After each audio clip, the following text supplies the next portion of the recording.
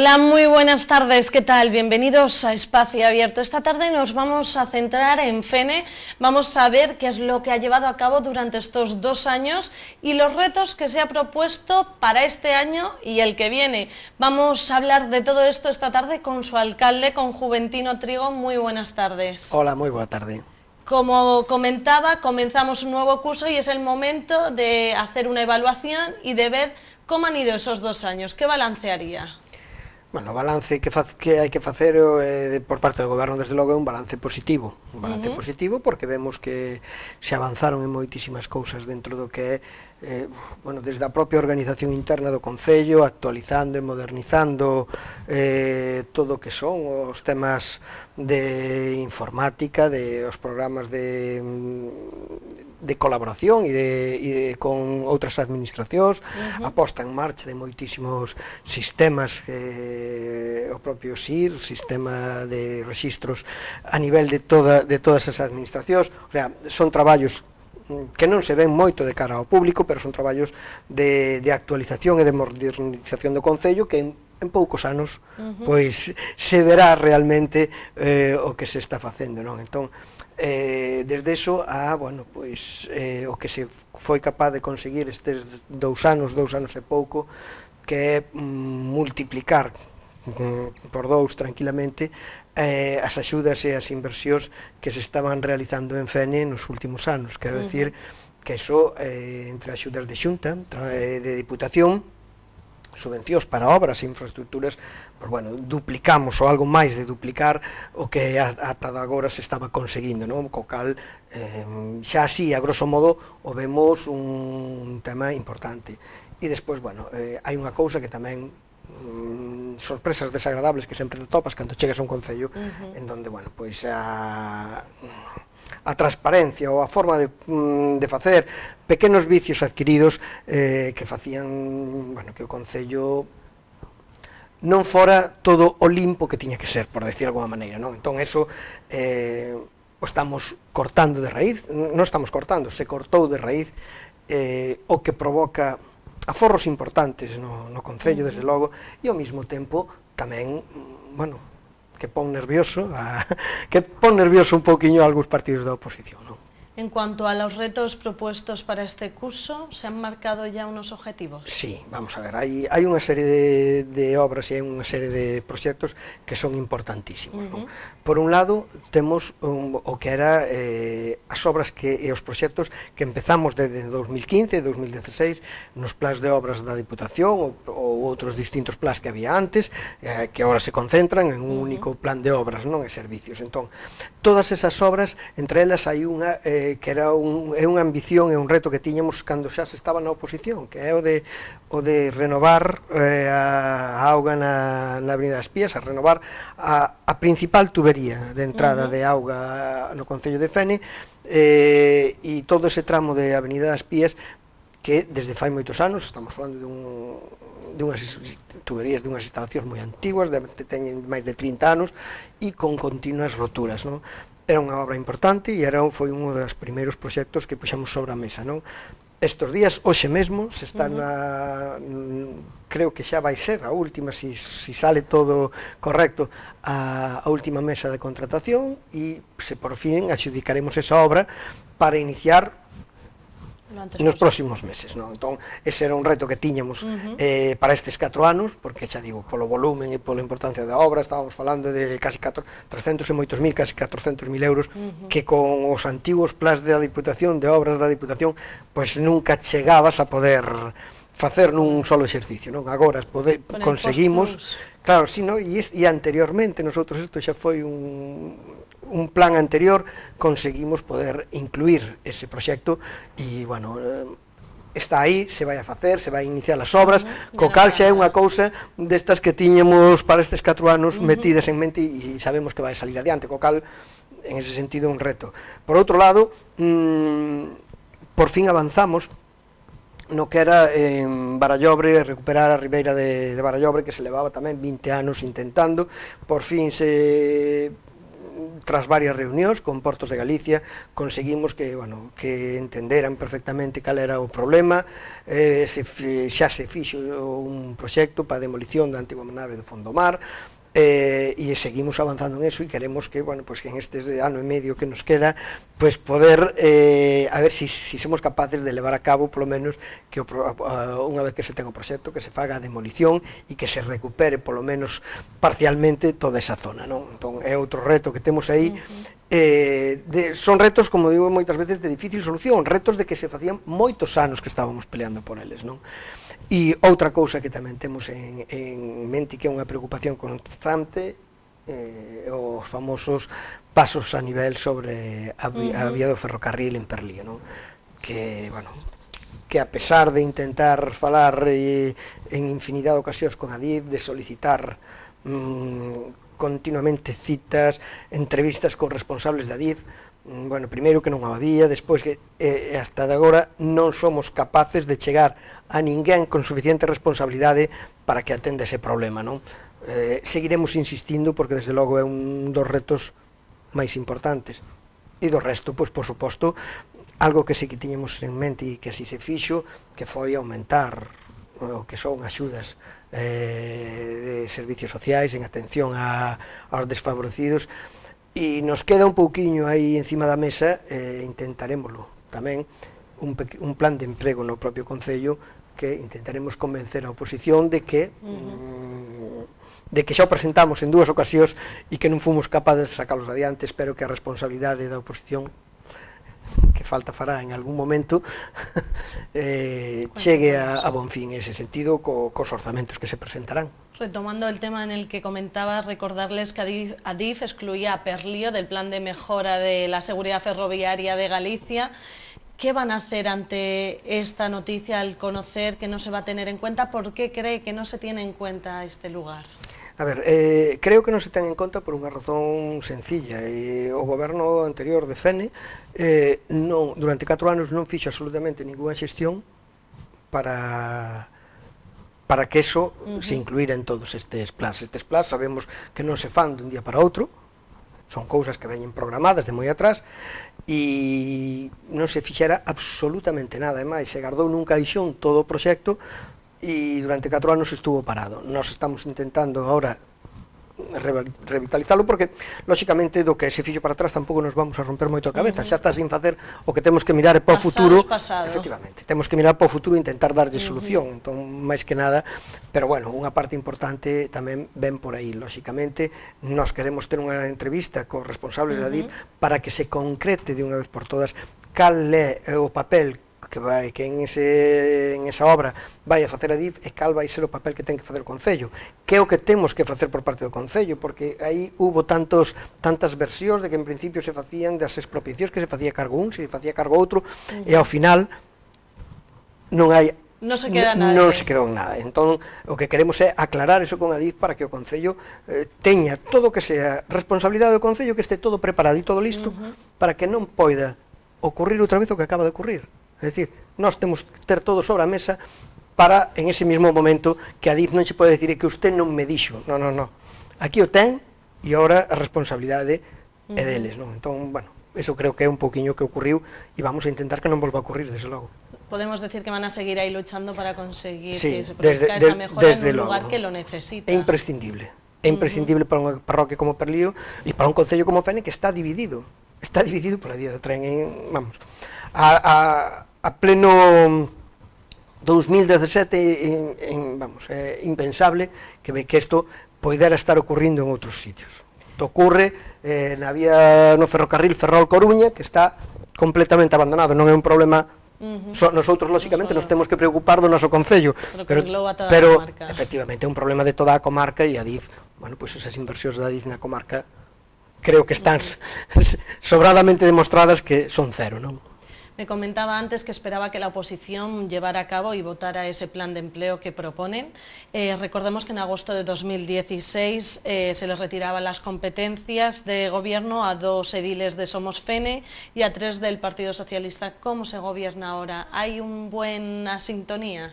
en el gobierno? A ver, eh, no goberno hai unha sintonía bárbara, por suerte, os que estamos no goberno temos moi boa sintonía. O problema eh, é que actualmente hai un tripartito na oposición, uh -huh. eh, que a día de hoxe, despois de todo este tempo, non fixo ninguna soa proposta en, en positivo. Quero decir, é unha oposición completamente destructiva, unha oposición a que lle trasladas as cousas e non aporta absolutamente nada, quedaron asuntos sobre a mesa por non ter resposta unha mil veces, lle podes dar información dous meses antes para, para facer un debate, tal ao final nunca chegas ao pleno e se te descolgan con cousas que mm, bueno, estamos co tema de RPT, en, se levou dúas veces un, algún, da relación de traballadores, uh -huh. se levou a mesa de, de negociación, eh, foi aprobado polo goberno, foi aprobado polo polos representantes dos traballadores e incluso por algún membro da oposición ou coa abstención e chegar ao pleno e votar en contra cousa que, que bueno, eu non levo tantos anos en política tampouco, pero sempre que estuve en eu un acordo entre o goberno e os traballadores, nunca votas en contra. Bueno, pois hasta para paralizar o goberno, É dicir, a relación coa oposición é mala, hai que recoñecer que é mala, a pesar de, de intentar unha e mil veces reconducir esa situación, como ben sabrán, presentaron fai uns meses unha moción de censura uh -huh, co consecuente expulsión de de, de, bueno, de, un de un dos grupos que presentaba dos seus mm, concelleiros, aínda que está todo metido no xulgado agora, eh, siguen con, con esa idea de presentar unha moción de censura, eh, Bueno, Supongo no, que... non hai maneira, quero decir, hai un interés desmedido, e eu teño que reconocer así, personalmente, hai un interés desmedido por recuperar a alcaldía. Parece que hai unha preocupación que habrá que saber cal é, que preocupación dentro do, do, do antigo alcalde e dentro do Partido Popular, pero tamén co, co resto de con ese tripartito, non? Que mm, bueno, é un interés desmedido, non se acaba de entender, cando xa che unha moción non tira para diante, volves outra vez e sigues insistindo e sigues sin, mm, como digo, unha sola proposta en positivo. Non? Supongo que debe ser unha situación difícil, cinco ediles al frente e unha oposición que hace difícil el poder llevar a cabo pues, a, las propuestas. Sí, sí, é difícil, pero bueno, hai unha gran ventaxa, non? Eh, o traballo que estamos realizando, pues, estes cinco ediles que, se está, que están no goberno, suple eh, o resto das carencias, non? De feito, uh -huh. eh, se pode comprobar, eh, o, estos onte ainda se recepcionaba outra obra tamén importante que é na rúa Travesa en Fene eh, e en nos próximos días pois como estábamos falando, eh, iniciarán, mm, todas as xestións están listas para iniciar a contratación de obras, como falábamos de Avenida das Pías, estábamos falando de obras no, de Magalofes, por exemplo, o, o saneamento do FEAL, que tamén era unha demanda des fai moitísimos anos, se empezará agora, incluso pequenas obras importantes en, en Limodre, en Magalofes, o sea, prácticamente todas as parroquias, uh -huh eh, por fin vamos a empezar eh, tamén co o aglomerado da Rúa Meniral de Perlío, que leva un ano en estado de abandono despois de que se fixera unha obra tamén de cambiar todo o que era a traída de auga, entón, bueno, xa vamos a empezar con esa obra tamén. Quero dicir, eh, se están facendo e se están iniciando e nos próximos meses uh -huh. se vai ver unha actividade eh, Constante. como facía moitos anos que non se veía no Concello. Claro, despois de ir facendo as xestións oportunas, de pedir os permisos, de facer todo eso, pois nos próximos meses se vai a ver un moita movimento no Concello de Fene, xa digo, como facía moitos anos que non se facía. Claro, eh, eso, a que se debe? Bueno, pois o esforzo que estamos facendo os concelleiros e a que hai obras, lóxicamente, que, como foi ano pasado, pois as obras do plan de obras da Diputación, que tamén, en ese caso, se votou a favor ou con extensións por parte dos grupos de, da oposición, despois de negocialas con eles. Agora se volven a ter outra serie de obras negociadas, esperemos que deixen avanzar en ese sentido para continuar, porque, a ver, eh, aquí xa non se trata moitas veces solamente do tema político, se trata de que, eh, a pesar da oposición que están facendo, mm, algo hai que pensar nos veciños uh -huh. e nas veciñas tamén, si non... Tiene miedo de que presenten unha moción de censura. Partido Socialista parece que tiene aí unos problemas, en un lado estaba a favor de juntarse con el Partido Popular para presentar esa moción de censura, finalmente hubo discrepancias en el propio partido. Esa moción de censura está sobre la mesa, se escucha por los pasillos del ah, Concello. A, a moción de censura se escoita polos pasillos do Concello desde fai máis dun ano, co cal, bueno... Es algo normal, sí, es, es como... algo normal, e que pode seguir, e que poden... Sí, xa digo, hai un interés desmedido. Mm. Hai algo que preocupa, non sabemos exactamente o que, eh, no, bueno, non sabemos exactamente o que, vemos que no Partido Popular realmente eh, hai un problema, hai un problema que hai unha investigación en marcha que fixo que, o, que fixo a Guardia Civil e que, eh, bueno, pois hai persoas investigadas e das persoas investigadas hai mm. concelleiros eh, do Partido Popular parece como mm, que hai que ganar outra vez a alcaldía para intentar paralizar ese tipo de investigacións porque ao final é a conclusión a que chegas.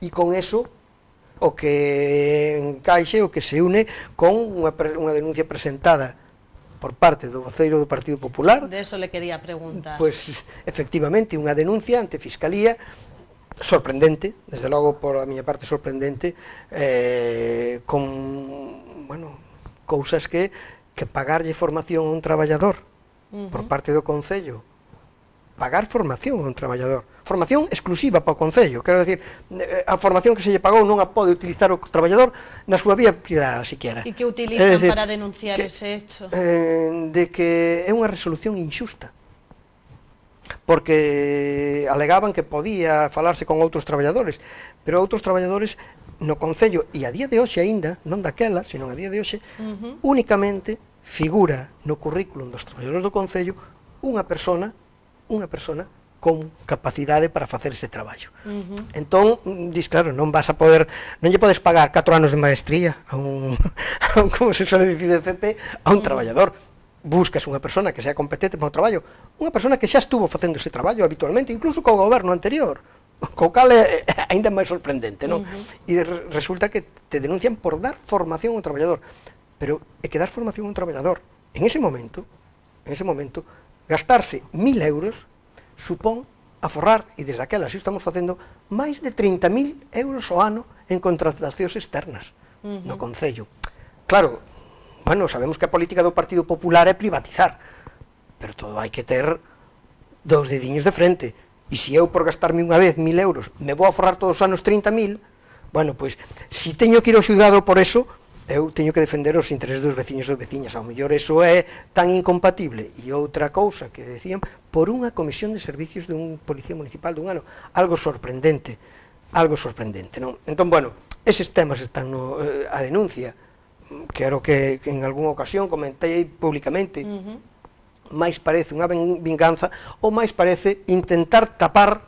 Hm? Por que habla de venganza. Eh, A ver, eh, a preocupación que hai no Partido Popular por esa investigación que trouxo como consecuencia pois eh, un investigado, concelleiro do Partido Popular, uh -huh. coa responsabilidade do señor Gumersindo Galego, que era o alcalde e que saiu públicamente defendendo ese, supoñemos que, bueno, pois cando esa si, si hai algunha irregularidade en esa denuncia da Garda Civil, pois supoñemos que asumirá tamén a súa responsabilidade uh -huh. o señor Gumersindo Galego supoñemos, pero bueno, xa visto o visto xa se duda de calquer cousa, pero hai unha cousa que hai que diferenciar e, e os veciños e veciñas queremos eh, deben de ter claro, é dicir, en ningún momento nin o alcalde, nin ningún concelleiro do goberno denunciou a ninguén do Partido Popular, ni a ningún concelleiro, ni a ningún traballador. O que se hai unhos feitos que denunciou a propia oposición uh -huh. se investigan e como consecuencia parece ser hai delito co cal a Garda Civil fai a súa investigación e quen denuncia no xuzgado é a Garda Civil. Nosotros, cando esa investigación se pon en marcha, nadie sabe quen vai poder ser investigado uh -huh. que, ou imputado, para que nos entendamos. Eso non sabe ninguén. E o Concello, ou en este caso o alcalde, ningún concelleiro denuncia a ninguén. Se pon en marcha unha investigación e desa investigación se conclúe que hai unha persona investigada e unha persona concelleira do Partido Popular. Claro, mm, eso non ten nada que ver con que o voceiro do Partido Popular vai á Fiscalía a denunciar ao alcalde por dúas resolucións injustas. Resolucións injustas que, por outra parte, xa digo, mm, aforrar e defender a a, o traballo e a función pública e, e que os concellos, en este caso, a administración local, faga os traballos obligados por lei, parece eh, que, bueno, pois pues, se unha persona ten que responder deso, para eso estamos, para responder desas cousas, para defender o ben de todos os veciños e veciñas. Non ten nada que ver con que en unha investigación da Garda Civil a Garda Civil denuncie, é a cousa moi distinta, non? Entón parece como se si fora unha pequena revancha. Se si entramos en esa, en esa forma de facer, lóxicamente, bueno, pois pues, ao mellor... Eh, eu non querría, desde logo, entrar en ese tipo de, de, de, de, de facer esa forma de facer política. Por parte do Bloque nunca se fixo política desa maneira e, e querríamos seguir sin entrar en eso, porque entón, bueno, responsabilidades ao millor eso é o interés por sacarnos de aquí, porque se si empezamos a revolver, pues podemos atopar demasiadas cousas, e parece que ese é o único objetivo de apartarnos do goberno, porque FENE hoxendía está funcionando perfectamente, obras como nunca se fixeron, proxectos que levaban anos sin facerse están aí. Temos un proxecto que demandaban os veciños en Perlío para as márxenes do río Cádabo, na rúa río Cádabo uh -huh. precisamente, que levábamos anos, moitísimos anos para que sin facer, está feito, temos permisos, será o próximo que se ataque, po ano que ven estará tamén feito. O sea, hai moitísimo traballo a todos os niveles, non solamente ese a nivel cultural, se recuperaron, o sea, a actividade da Casa da Cultura, a actividade de incluso das sociedades do concello.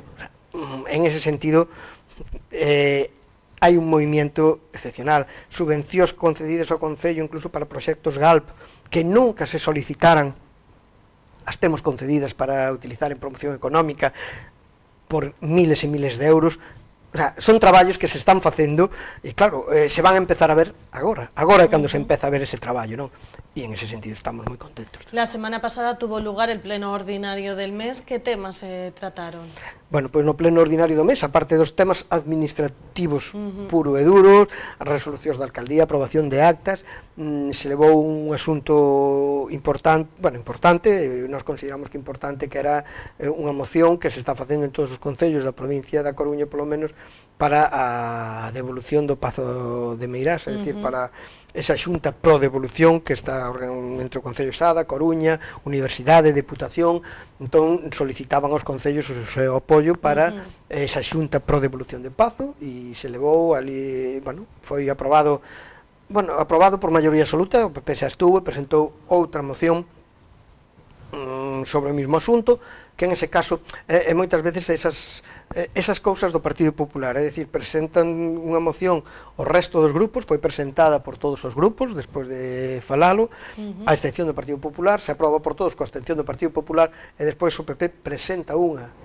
deles sola no mesmo sentido e os demais grupos já aprobamos e foi aprobada por unanimidade. Quero decir, eh, una bueno, fiel muestra de la tensión que parece que debe de haber por aquí. Efectivamente, efectivamente. Llega casi, no queda nada para el 2018. ¿Están trabajando ya en los presupuestos del año que viene? Sí, eh, estamos traballando nos presupostos de 2018, porque os do 2017, lóxicamente, unha vez pasado o mes de agosto, e, e tal e como estaba a situación co, co oposición, non parecía factible seguir traballando neles, temos estamos traballando no 2018, de feito, si hoxe mm, eh, ou se non entre hoxe e mañán eh, dá tempo convocarei a todos os grupos da oposición para distintas reunións a semana que ven así xa yo transmitín na xunta de voceiros da, da semana pasada.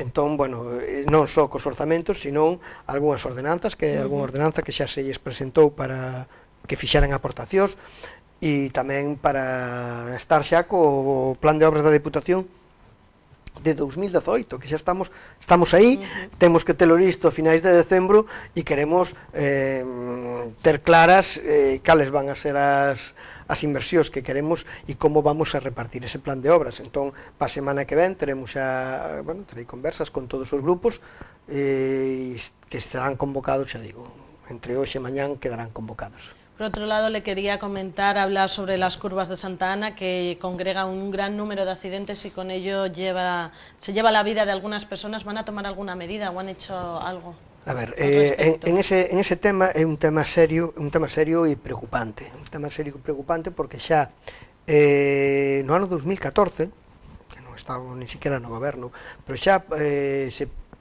se pasou por parte da policía local un informe das deficiencias que se que se veían en ese, en ese tramo da Nacional 6. Non?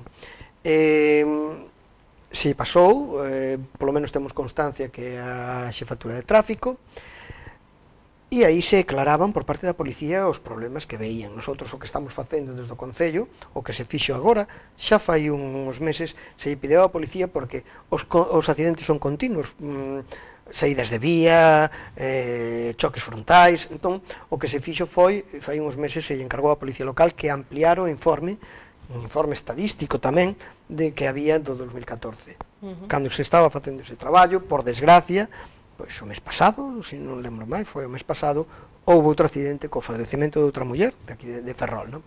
Entón, eh, bueno, unha vez rematado este informe, o que fixemos foi Nosotros o que facemos no informe é un, un traballo estadístico por parte da Policía Local e, por outro lado, un traballo de apreciación de cales son os problemas que se atopan con unhas posibles solucións, pero lóxicamente o que nosotros lle pedimos, e en este caso se traslada ao Ministerio de Fomento, se trasladou outra vez á Xefatura Provincial de Tráfico, en este caso, por un lado que tráfico ten as competencias que ten, tampouco son os encargados de amañar a estrada, mm. pero sí de eh, polo menos recomendar eh, o cambio de, da sinalización uh -huh. que pensamos que non é eh, o correcto que debía de ser.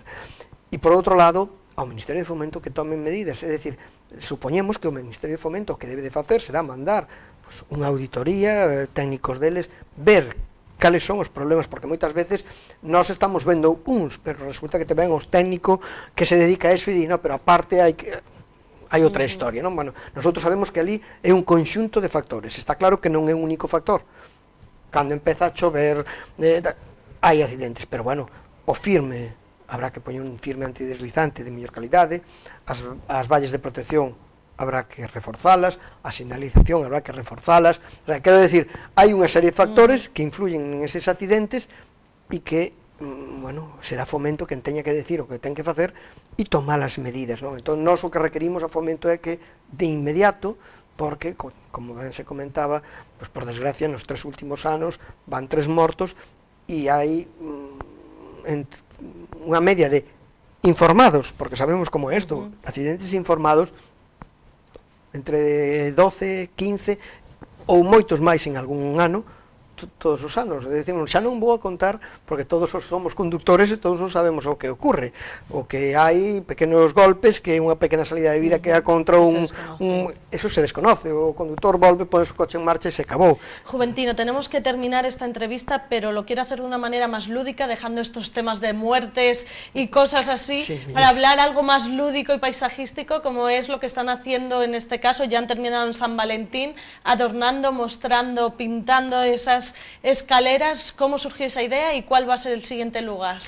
Bueno, pois efectivamente son pequenas eh, pequenas ideas e pequenas cousas que se fan que despois teñen unha trascendencia e moitas veces te sorprende incluso, non? Eh, por un lado, eh, tanto Concellería de, mm, de Servicios e a Concellería de Obras, uh -huh. bueno, mm, identificamos unha serie de sitios en donde creemos que debemos de humanizar, por decir de alguma maneira, eh, determinados lugares. Non? Eh, o cemento moitas veces, como se comenta, é moi frío, queda moi seco, moi soso, uh -huh. e, e tens que intentar dar un cambio, cambiar imaxen, dar colorido a, a, a, determinados sitios onde os veciños, bueno, pois pues que, que non se atopen sempre con eso tan frío como o cemento, non? Entón, entre as concellerías miraron un par de sitios, un par de lugares para ir empezando, para ver, E o que se chegou á conclusión, en este caso, empezar polo barrio de San Valentín, por unhas escaleiras que baixan desde a carretera nacional, uh -huh. unhas escaleiras grandes, que é un sitio mm, que sempre, de sempre, de, estamos falando de moitos anos, moi soso, non? Entón, mm, falaban de pintar algo. Entón, que se fixo? Pois, se pideu ideas a un artista local, uh -huh. Ito Mosquera, que ao que lle temos que agradecer o excelente traballo que se fixo, pero se intentou ir un poquinho máis alá e cerca dese lugar pois está o local que ten as, pane, as Paneps en, en Fene, eh, a Asociación de Pais e Nenos, bueno, pues, entonces uh -huh. o que fixemos foi eh, falar con eles para que se prestaran a colaborar, dar as capas de pintura, uh -huh. e así se fixo. Entón, eh, foi un traballo no que eh, entrou, por decir algún momento, toda a sociedade, non? Uh -huh. eh, os rapaces encantados, o, os mestres que... Cual va a ser el siguiente lugar? Bueno, pois pues, podemos decir que están uh -huh. xa en marcha, e supoño que en moi pouquiño tempo, unhas eh, escaleiras que hai ao lado da Casa da Cultura, precisamente, uh -huh eh, entre a Casa da Cultura e unha pista polideportiva de Fene, hai tamén ali unhas escaleiras de cemento que serán as próximas con unha idea xa predefinida, xa o proxecto xa está feito, e esperemos a que empecen a pintalos para que a xente se sorprenda, uh -huh. non? Eh, son cousas que creemos que dan color, color dan vida, si hai que empezar a humanizar, como decíamos, o empezaremos tamén en breve, en a, seguramente que pase mal en a Avenida de Tarrío a a humanizar esa avenida, uh -huh. elevando os pasos de peós para que os vehículos vayan a menor velocidade e que a xente en zonas como ambulatorio, centro de saúde, quero dicir, xente con dificultades poida uh -huh. andar nunha beira rúa do mismo nivel, sin ter que estar subindo, baixando, bueno, hai cousas que, que dan un pouquiño de bueno, eso, humanizar un pouco o povo e eso xa estamos traballando e nas próximos días, nas próximas semanas así estaremos. Fuentino Trigo, muchos proyectos en los que trabajar tienen por delante mucho trabajo. Ah. Muchísimas gracias por venir esta tarde. Muchísimas gracias. Muchas.